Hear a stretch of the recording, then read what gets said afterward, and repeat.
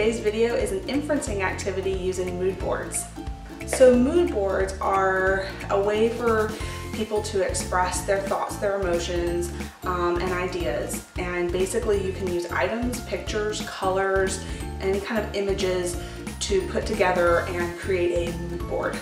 So I came up with this idea when I was having conversations with teachers and we were talking about inferencing and I had just read about mood boards. So giving students a chance to express their understanding uh, of a particular topic or the details of a topic, being able to compare and contrast ideas, I think this is a really great way for them to do that. So what I have for you is an example and check out this picture. I created this with some items that remind me of a story that I used to love from my childhood. And if you check out those particular items, all of them have to do with the monster at the end of the book. I love this book. It was my favorite one as a child. I actually have like five copies of this because I don't ever want to lose it. And within it, you have Grover trying to make sure nobody turns the page because he thinks that there's a scary monster at the end of the book. And within here, he uses things like rope and boards nailed to, to the page and building brick wall. And so that's what all those different items uh, that were in the picture represent. And of course, the blue material was to represent Grover himself.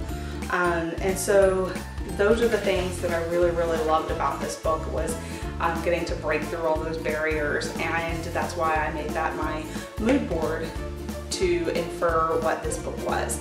So it would be a really interesting thing to do in any particular subject um, and thinking along the lines of maybe in social studies, having them take a topic that they've learned about and uh, they have to choose items that, that really speak to the story of what that topic is.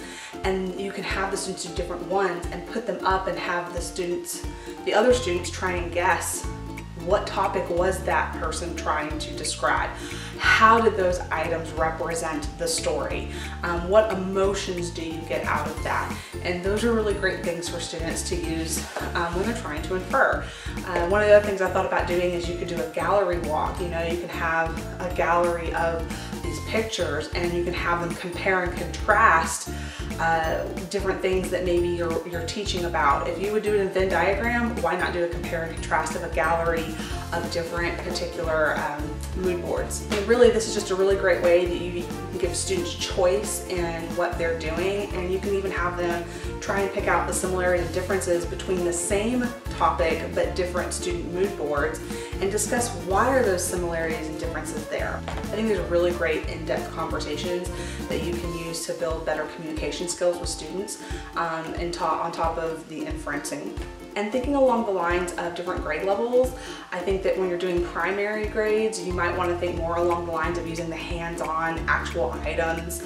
Um, whereas your secondary, you might want to do digital, having them find, find pictures and, and have them create pictures that they put together uh, and design that into um, a mood board with colors and whatnot to, uh, to make that particular one their own.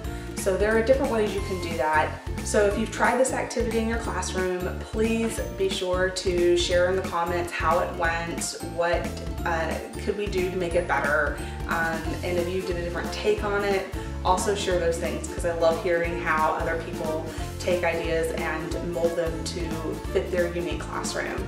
And thanks again for watching. If you like this video, then make sure that you subscribe to our channel. Have a good day.